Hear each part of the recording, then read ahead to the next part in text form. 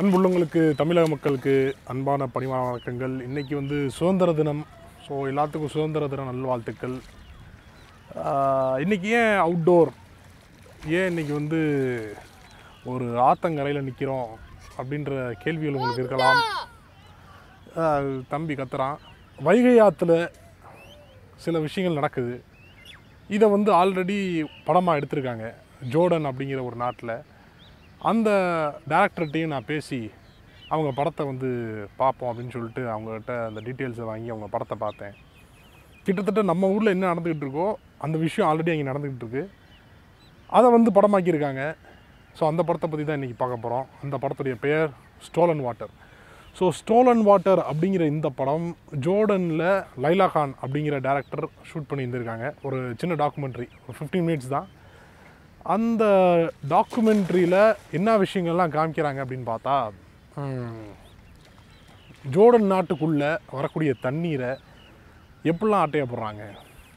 அவங்களால பொதுமக்கள்கிட்ட தான் போய் நீங்கள் ஏன் இந்த தண்ணியை வந்து திருடுறீங்க அப்படின்னு கேள்வி கேட்க முடிஞ்சே தவிர பெரிய பெரிய மாஃபியாஸால் மாஃபியாஸும் திருடிட்டு இருக்காங்க. அதை வந்து கேள்வி கேட்க முடியல அந்த டாக்குமெண்ட்ரி ஃபிலிமில். At the same time government அஃபிஷியல்ஸ்கிட்ட போய் அவங்ககிட்டயும் பேசியிருக்காங்க. இது ஏன் இப்படியெல்லாம் நடக்குது? இதை எப்படி நம்ம கொண்டு போகலாம் அப்படின்னு சொல்லிட்டு. ஆல்ரெடி அங்கே நிறையா விஷயங்கள் நடந்துகிட்ருக்கு அதில் வந்து இதை கட்டுப்படுத்துறதுக்கான வேலைகளும் நடந்துகிட்ருக்கு தமிழ்நாட்டில் மதுரையில் வைகை ஆற்றுல வைகை ஆற்றுல தான் நின்றுக்கிட்டு இருக்கேன். ஸோ தேனியில் இந்த வைகை ஆறு வந்து ஆரம்பிக்குது. ஆரம்பித்து ராமநாதபுரம் வரைக்கும் ராமநாதபுரத்தில் போய் கடைசி அங்கிட்டு தான் போய் தன்னை கடலில் கலக்குது.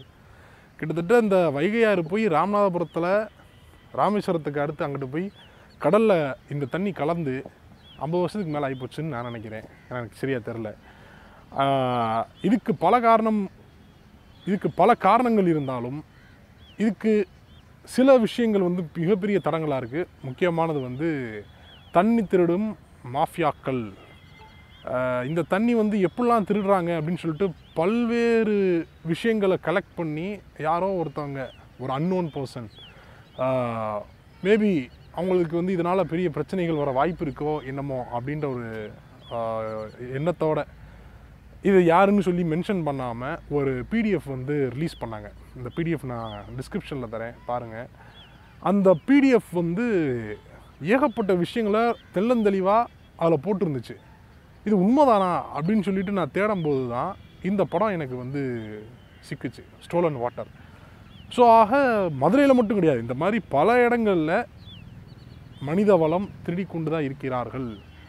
வி ஆர் நாட் இண்டிபெண்ட் நம்ம இன்னும் சுதந்திரம் அடையல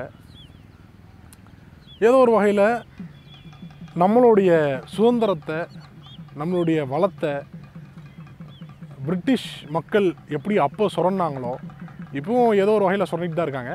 அதே மாதிரி நம்ம கூடயே இருக்கக்கூடிய இந்திய மக்கள் பல பேர் தண்ணியை தண்ணி மட்டும் இல்லை நம்மளுடைய வளத்தை சுரண்டிக்கிட்டு தான் இருக்காங்க. ஸோ ஸ்டோலன் வாட்டர் அப்படிங்கிற இந்த படத்தை நீங்கள் பார்க்கணும் அப்படின்னு நினச்சிங்கன்னா மதுரையில் எப்படியெல்லாம் நடக்க வாய்ப்பு இருக்குதுன்னு நீங்கள் புரிஞ்சுக்கணும்னு நினச்சிங்கன்னா இந்த வீடியோக்கு கீழே நான் டிஸ்கிரிப்ஷனில் சில லிங்க்ஸ் தரேன். அதை போய் பாருங்கள் உங்களுக்கு பல விஷயங்கள் புரிய வரும். ஸ்டோலன் வாட்டர் அது வந்து it's not open to public எல்லாத்துக்கும் எல்லாருமே அதை பார்க்க முடியாது. ஸோ அவங்களுடைய மெயில் ஐடி லைலா கான் அப்படிங்கிறவங்களுடைய மெயில் ஐடி நான் உங்களுக்கு தரேன். அவங்கள்ட்ட நீங்கள் மெயில் பண்ணீங்க அப்படின்னா அவங்க லிங்க் தருவாங்க. ஃபிஃப்டீன் மினிட்ஸ் வீடியோ தான் அது. ஃபிஃப்டீன் மினிட்ஸ் டாக்குமெண்ட்ரி தான் அது. பெருசாக அடே அப்பா அப்படியெல்லாம் நீங்கள் யோசிக்க வேண்டாம். சிம்பிளாக ரொம்ப கிறிஸ்பாக ரொம்ப க்யூட்டாக பதினஞ்சு நிமிஷத்தில் ஒரு மிகப்பெரிய கண்டென்ட்டை நச்சு நடக்கியிருப்பாங்க. இந்த மாதிரி நம்மளால் பல விஷயங்களை பண்ண முடியுமா அப்படின்ற ஒரு யோசனை எனக்கு வந்துட்டாலும் கூட அடுத்த கட்டமாக நான் மேபி டாக்குமெண்ட்ரி ஃபிலிம்ஸ் எடுக்க வாய்ப்பு இருக்குது அப்படின்னு தான் நினைக்கிறேன். ஸோ இதோட இந்த வீடியோ முடிச்சுக்குவோம். மீண்டும் இன்னொரு வீடியோ சந்திக்கும் வரை நன்றி போல. வணக்கம்